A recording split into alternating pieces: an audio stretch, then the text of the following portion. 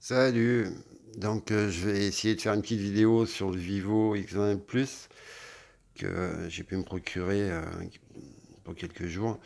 Donc c'est la version euh, pour la Coupe du Monde 2018, hein, smartphone officiel de la Coupe du Monde 2018. Voilà, dans la boîte, mon téléphone était protégé avec une mousse en plastique. La boîte est très jolie, hein, c'est marqué Russie, Coupe du Monde.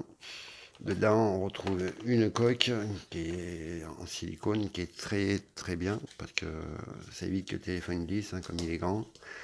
Le pins pour les cartes SIM, donc deux nano SIM ou une nano, une carte SD, les emails, la garantie et la notice. Le câble USB qui n'est pas USB-C, un gros chargeur, un gros gros chargeur euh, qui est chinois, enfin américain, je sais pas, hein, j'ai pas d'adaptateur pour lui et qui est donné pour du 5 volts 4 5 ampères. Alors euh, au niveau de la charge, ça doit être très rapide. Moi j'ai chargé avec un 5 volts 2 ampères et chargé, euh, chargé rapidement aussi. Et donc des écouteurs que oui, que j'ai pas essayé, mais bon, qui me rappellent une marque. Donc il est complet, bon, sauf qu'il manque l'adaptateur. Voilà, donc voilà pour la boîte ce qu'ils nous disent, euh, écran full view euh, display, face wake, 64 Go, 4 Go et un Snapdragon Qualcomm 660. Euh, voilà, modèle black, Vivo 1700V, le modèle, voilà. Voilà pour la boîte.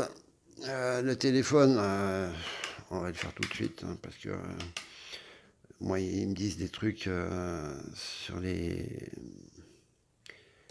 caractéristiques qui sont pas justes. Hein. Il me l'a donné pour 161 grammes alors qu'il fait 168, 188 pardon, 3. Voilà, ça c'est fait. On n'en parle plus. Les dimensions du téléphone fait 165 de, haut, hein, ça fait un grand téléphone, par 8,09 euh, de large. Par contre, il est très fin. Hein. il fait 7,45 euh, mm d'épaisseur avec le tiroir SIM de ce côté, le bouton volume plus moins, power, hein. et donc il est un peu arrondi, un peu incurvé là, et ça fait que ça, fait une bonne prise en main. Bon, il glisse, hein, donc euh, c'est pour ça que je dis qu'il faut mettre euh, la coque. Avec une coque, on est sauvé. On va essayer de faire 100 pour, le, pour montrer ce, que ça donne. Les deux capteurs arrière de 12 et 5, avec un flash LED, c'est pas un double. Le capteur d'empreinte marqué Vivo ici, est là désigné par, euh, par Vivo. Et il n'y a pas de norme CE. Donc euh, quand on le rentre pour le paramétrer, il faut marquer France et Russie. Voilà. Sinon, euh, il n'y a pas, pas d'autre. Il n'y a pas en France et France ou, autre. Hein. c'est France et Russie. Sinon, c'est les pays chinois. Voilà. Donc la reconnaissance faciale hein, qui marche plus ou moins bien, on va dire. Là, voilà, ne veut pas. Donc, euh, dans le noir, c'est pas la peine, ça marche pas non plus. Sinon, euh, il y a le double tap, euh, il y a le capteur d'empreinte qui lui marche très bien, qui permet de descendre les notifications. Donc pourquoi il veut pas me reconnaître hein, cet animal? Voilà, ça y est. ça marche, ouais là, ça marche, mais c'est par moment donc c'est peut-être pas très très au point. Donc euh, j'ai fait le tour du téléphone, donc là les capteurs euh, photo à l'avant c'est un 12 millions de pixels, le haut-parleur, et capteurs de proximité, tout ça. Hein.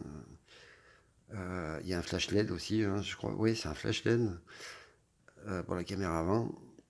Donc dessous, le haut-parleur, là le port micro USB qui n'est pas USB-C un micro et le port jack 3.5. Euh, j'ai un doute du coup, mais si c'est bien jack 3.5. Euh, voilà. Donc euh, j'ai fait le tour, oui, c'est bon. Et dessus, un petit micro d'ambiance, voilà. Donc capteur d'empreinte qui marche très bien, reconnaissance faciale, on réessaye encore un coup avec le double tap. Et il me reconnaît pas. Voilà. Donc, euh, ça marche euh, quand ça veut. Là, ça a bien marché. Pour la ROM, donc c'est une ROM euh, vraiment assez spéciale. Donc voilà, les, raccourcis se trouvent en bas. Je vais baisser la luminosité, le son.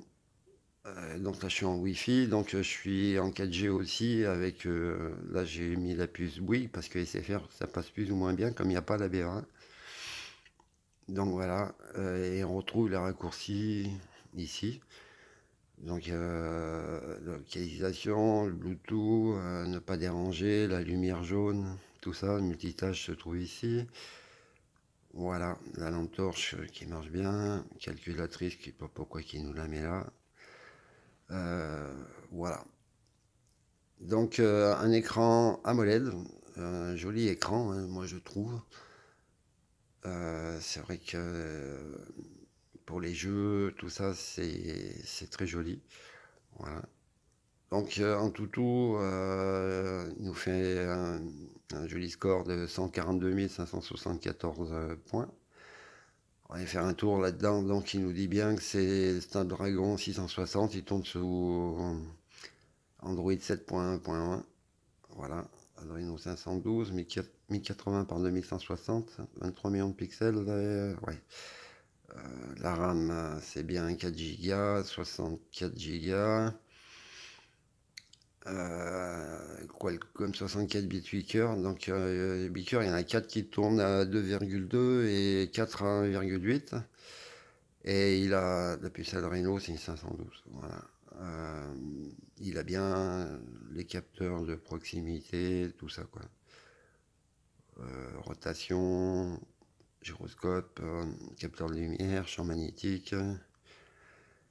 Enfin, il a tout qui va bien. Et donc, euh, voilà pour euh, tout, au niveau des photos, vidéos, j'ai mis quelque chose sur Facebook, Instagram. Je voulais voir les captures d'écran au niveau du GPS. Bon, le score, on a vu, c'est bien 10 touches. Euh, ça c'est Geekbench, un single core 1621, multicore 5811. Ça c'est les classements. Hein. Il se rapproche d'un autre 8. Oh.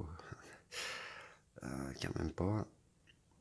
Le GPS là en une seconde, le premier fixe à 3 mètres hein, et en trouvons sur 21. Là, euh, là, il n'y avait pas de Bluetooth, il n'y avait, pas de Wi-Fi, pas de 4G, rien. je l'ai éteint, je l'ai rallumé en 0 secondes à 3 mètres près, 15, 20 sur 25. Voilà. Bon, à une main, c'est un peu grand, mais en fait, on s'y fait. 6,3 hein. pouces euh, au format, au ratio 18 neuvième, euh, je trouve que ça va bien. Voilà. Donc euh, l'appareil photo, j'ai fait quelques photos bien sûr, mais c'est pas. Je sais pas si on va pouvoir bien voir qu'est-ce que ça rend. Bon là c'est un peu sombre. Aujourd'hui il n'est pas beau, alors hein, j'ai pas pu faire des photos au soleil. Sinon moi je trouve pour ma part que c'est pas mal. C'est même très bien. La photo panorama. Là c'était en mode HDR. Voilà. Euh, il n'y en avait pas d'autres des photos, il me semble que si. Voilà, c'était des petites que j'avais prises euh, vite fait aussi. Donc ça c'est avec le HDR. Ça je, sais pas pourquoi c'est si sombre. Voilà, ça c'est un HDR. Voilà. Tout ça. Donc là, le HDR m'a vraiment blanchi mon petit ange. Hein. Je sais pas. Là, on voit peut-être un peu mieux. Ouais. Donc voilà. Et pour les vidéos, euh, j'ai fait des vidéos qui sont pas là-dedans. Comment ça se fait? C'est pas grave. On va les voir ailleurs. Peut-être les retrouver ici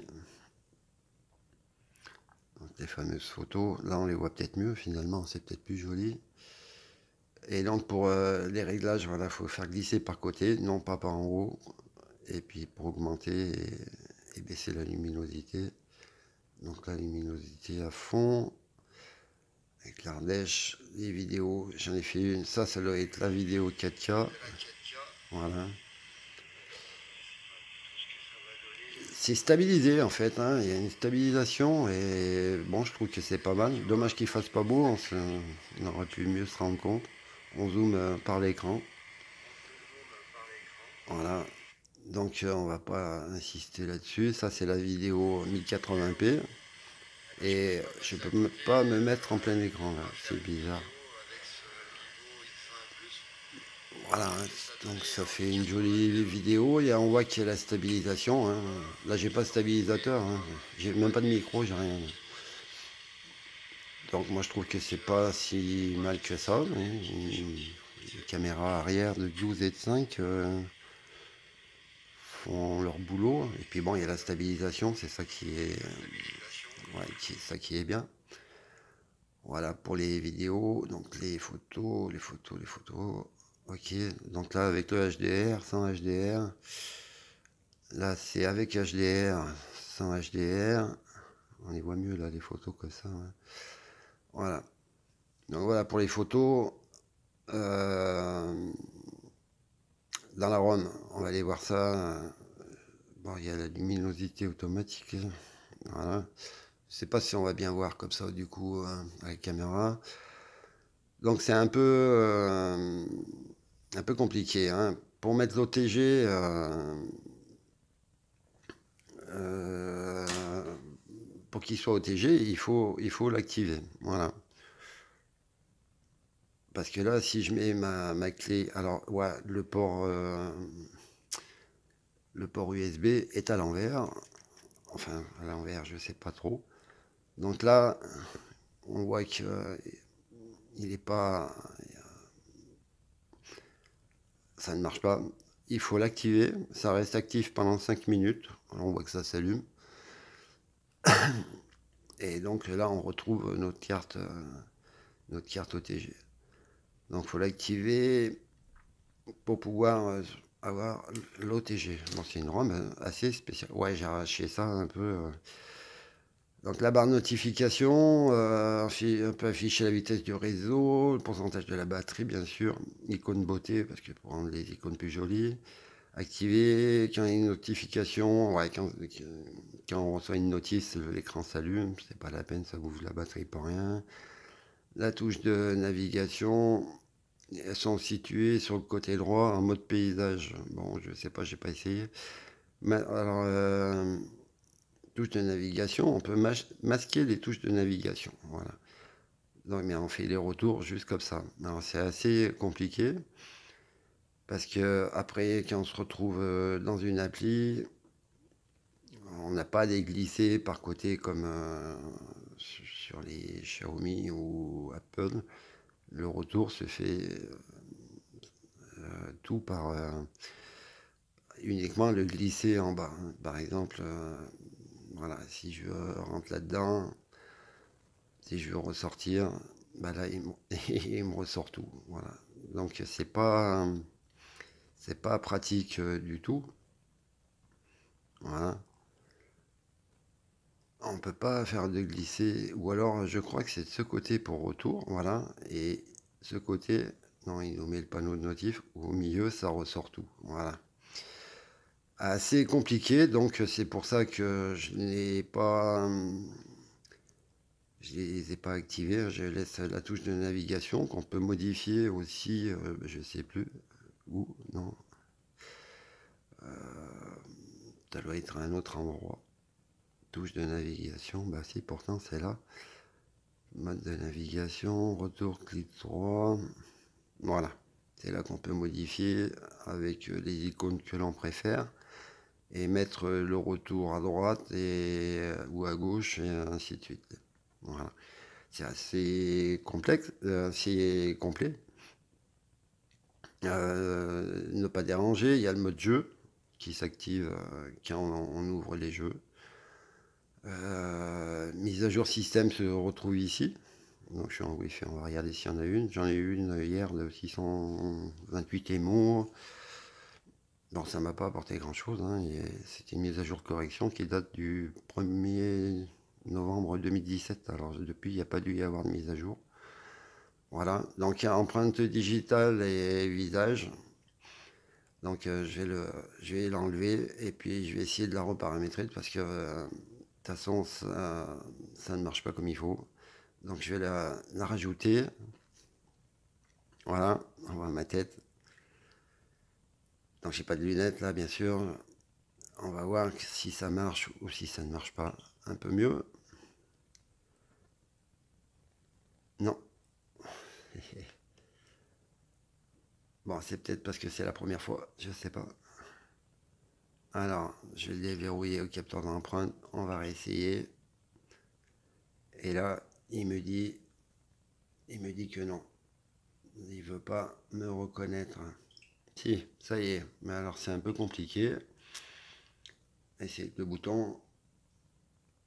Ou alors, en tournant non plus. Voilà. C'est assez... Euh, ça marche plus ou moins bien. Toucher le capteur d'empreinte pour prendre une photo. Faire glisser vers le bas pour afficher le centre de notification. Je l'ai dit. Euh, ça le fait pas si. Voilà. Ok. Euh, l'empreinte, bon, bah, ça marche très bien, on a vu. La batterie, normale, basse consommation. Le rang consommation d'énergie élevé en arrière-plan. Donc ça, je l'ai laissé parce que ça se désactive autrement les rangs, euh, je sais pas ce que c'est. Voilà, ça est pour me dire tout ce que euh, la consommation. Voilà, qu'est-ce qui me bouffe le plus Là, j'ai téléchargé Asphalt 8, il m'en a bouffé pas mal. Euh, la localisation, j'ai dit, langue et saisie, RAM et stockage, bon, c'est 54 Go, 64. Bon, j'ai mis une carte, une carte SD de 128 Go là-dedans. Je suis fou. Euh, autre paramètre, donc euh, à propos du téléphone, là on retrouve donc euh, l'os Fun Touch, os, base, basé en Android, avec ce qui nous propose numéro de modèle, l'email, la RAM, tout ça, 7.1, données du page de sécurité du 1er 10 2017. Alors ouais. Donc processeur Snapdragon 660 octa-core, 2,2 GHz, donc 4,1,8 d'après tout On propose un peu tout, hein, l'adresse euh, niveau du patch euh, données du CPU. Hein, voilà, on voit bien qu'il y a les 8 cœurs qui travaillent hein, aussi. Voilà pour euh, à propos du téléphone. Il y a les applis, recherche globale, tout ça, j'ai pas trop trop été voir en sécurité, accès aux notifications, machin. Euh, voilà, c'est tout un peu euh, à la désordre là-dedans. Hein, les accessibilités sont là. Option développeur, hein, ça fait bugger le téléphone. Donc il dit mode développement euh, désactivé, ça clignote. Bon, c'est dommage parce que bon, je voulais je voulais supprimer comme euh, ça se fait bien là mettre les, animations à 0,5 hein, pour gagner soi-disant en rapidité je sais pas si ça le fait beaucoup mais et donc là ça indique que des risques ça présente des risques euh, d'instabilité du système fonctionnel tapoter pour l'arrêter. Donc on va tapoter pour l'arrêter voilà et il y a bien des bobages USB quand même. Bon, c'est bien. Ah, donc c'est assez complexe dans la ROM pour se retrouver tout ça. Hein. Voilà, il y a le mode à une main que j'ai pas trouvé comment fallait faire. Accès mini écran, ouais, parce qu'on l'éteint, on peut aussi euh, l'allumer comme ça. Mais ça marche pas pas non plus. Vraiment, ça a dû marcher deux, trois fois. Donc c'est pour ça, le téléphone est quand même, euh, pour le prix, hein, euh, n'est quand même pas... Euh, qu'est-ce qui me charge là? Est quand même pas vraiment excellent, excellent. Hein. Donc Real Racing au niveau des jeux, j'ai pas, j'ai pas essayé Real Racing, j'ai essayé Assault 8. Je sais même pas si j'ai tout téléchargé ici. Donc on retrouve ici les, le mode jeu qui s'est installé. Euh, ouais, j'ai vu qu'on pouvait aussi, qu'il y avait le bouton pour accélérer, donc ça ferme les applis, tout ça, voilà. Ah ben, j'ai pas du tout commencé, on va le calibrer. Et on va essayer de faire un début de course pour voir ce que ça donne. Par contre, hein, l'écran est joli, hein, les couleurs et tout ça, hein, c'est magnifique. Peut-être un peu sombre,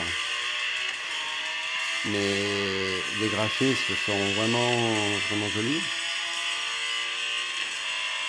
Bon là.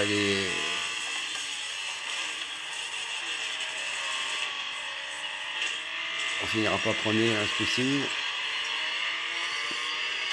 Bon, ça se conduit bien.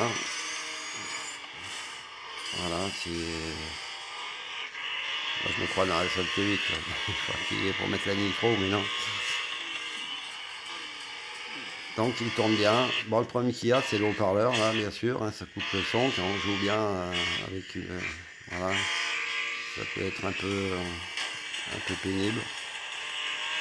Donc voilà pour Air Racing.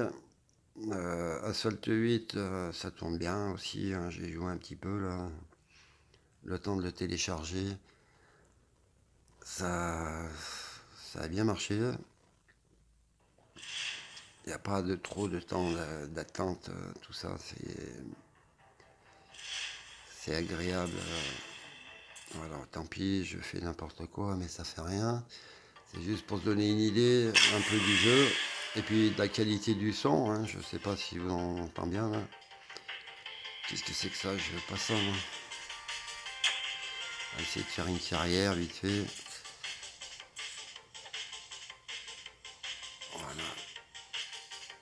Et on lance la course. Vous avez vu, c'est rapide hein, quand même. Et là, moi, j'ai trouvé que dans, dans ce jeu-là, que c'était euh, les graphismes étaient plus jolis peut-être que dans Real Racing. Voilà. Allez, on se dépêche, Tiki. Allez, c'est parti. Essayer de rentrer dedans pour voir. Non, il veut pas. Je la ramasse déjà.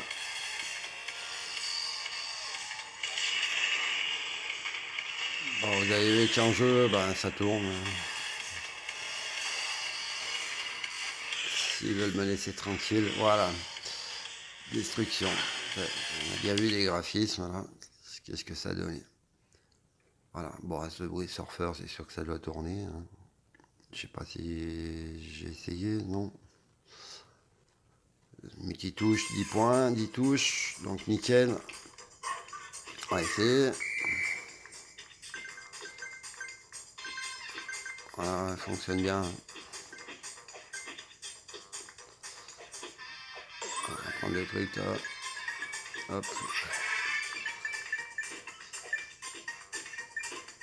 Donc ça fonctionne bien. Prendre le skate. J'ai raté le truc là-haut, tant pis. Et puis de skate. Je fais n'importe quoi.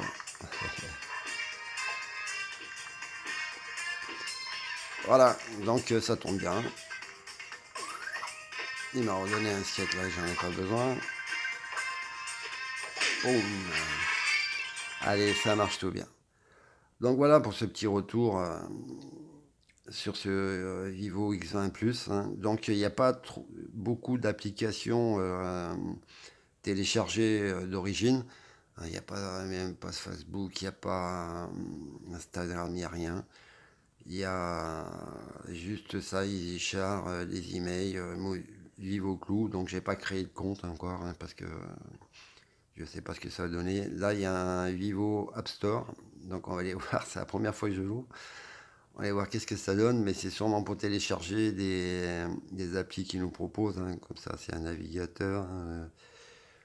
Ouais, non, je préfère pas aller euh, télécharger les applis de, chez eux. Donc voilà, et puis on retrouve euh, un stock de, thèmes. Donc euh, ils sont tous gratuits. Hein. Donc c'est des fonds d'écran. Là, on va regarder les thèmes. Il y en a des jolis, il y en a des moins jolis, c'est selon les goûts, les couleurs. Bon, je crois que j'en ai. Il y a les thèmes locaux. Voilà. Donc, euh, je sais pas, ça c'est peut-être un peu plus joli. Euh, il y a ceux que j'ai dû sauvegarder. Après, on peut paramétrer, modifier l'écran d'accueil selon le thème. hein. Donc, euh, il y a plein de paramétrages à faire pour avoir euh, les fonds d'écran qui défilent, euh, le thème que l'on à son, à son goût. Et comment on fait pour euh, trouver ceux que j'ai téléchargés. Bon, enfin, c'est pas grave. Et il y a aussi le, un store de, police. Donc, euh, si vous voulez changer, hein, il y a euh, un peu euh, à la gothique des endroits, à l'ancienne. Donc, c'est facile à télécharger. hein, voilà, c'est ce que ça va donner quand on écrira et tout ça. Donc, moi, je préfère garder la police d'origine, et puis pas m'embêter avec ça. Pour les thèmes, j'en ai téléchargé deux, trois, et alors ils sont où? Je voulais juste essayer de- d'en changer un pour voir euh, qu'est-ce que ça donnait. Bon, là, je sais pas, extravagant. Bon, ça, ça fait un peu luxe. Donc voilà, ils sont tous gratuits. Enfin, gratuit, c'est marqué disponible. Euh, ceux que j'ai téléchargés, moi, n'ont pas été payants. Euh, donc il y en a peut-être des jolis. hein. Après, euh, avec un écran AMOLED comme ça, c'est sûr que les thèmes, ça peut faire un peu plus joli. Voilà. Donc euh, qu'est-ce que j'ai oublié? Rien de spécial. euh, les applis, les notes, fichiers, les thèmes. hein. Il y, a- il y a la boussole. J'ai pas calibré, bien sûr. Bon, ça fait rien. On sait qualier. On lui fait confiance. hein, il tourne bien le truc. En appel, euh, le son est très bon. Euh, au niveau de l'autonomie, eh ben depuis ce matin, j'étais à 100%. J'ai téléchargé Asphalt 8 euh, à la Racing. Et donc, euh, ça va pomper un petit peu. Donc, euh, depuis 7 heures ce matin, j'ai perdu que 15%. Donc, là, il est 12 heures. En 5 heures, j'ai perdu 12%. Donc, je, je sais pas, on va aller voir si dans la batterie, il me donne une estimation. Euh, c'est où la batterie là-dedans? On va essayer de trouver ça. Il n'y a pas de batterie. Bon, bah, je ne trouve pas la batterie. Si, là. Consommation. Ah oui, non, on peut changer le mode. Voilà, d'accord. Si, si. on a regardé ça tout à l'heure. Super mode économie d'énergie. Donc on se retrouve avec le téléphone SMS contact horloge. Pour quitter, c'est simple, on appuie là et on revient. Ok, bon, bah pour la batterie, je n'ai pas pu faire de test, non. Et bon, moi je trouve qu'il a une très bonne autonomie parce qu'on n'a pas parlé de la batterie, j'ai oublié hier dans le live, et puis, un- et puis là j'en ai pas parlé dans les caractéristiques. La batterie, elle fait 3905 mAh. 3905, voilà. Donc euh, ça a l'air pas mal hein, depuis en 5 heures. Euh, bon, j'ai pas eu tout le temps l'écran allumé, mais il y a eu beaucoup de téléchargements, perdu 15%. Donc euh, je verrai ce soir combien il en est, mais bon, ce soir il repart, donc c'est terminé. Donc voilà pour ce Vivo X20 Plus hein, que je trouve énormément cher à 469 euros. Je voulais aller voir dans les. Ouais, vite fait. J'avais relevé deux, trois trucs. euh, Ça, c'est tout effacé, bien sûr. Caractéristiques Vivo. Voilà, c'est GSM Choice. Euh, il met pas les prix là. hein. Mais si on va sur, euh, sur Amazon, là où il a été acheté, d'ailleurs, ce téléphone, il a été acheté à 460 449 euros. Ouais. Mais il a baissé parce que moi sur la facture c'est marqué 469. Et donc ben là voilà.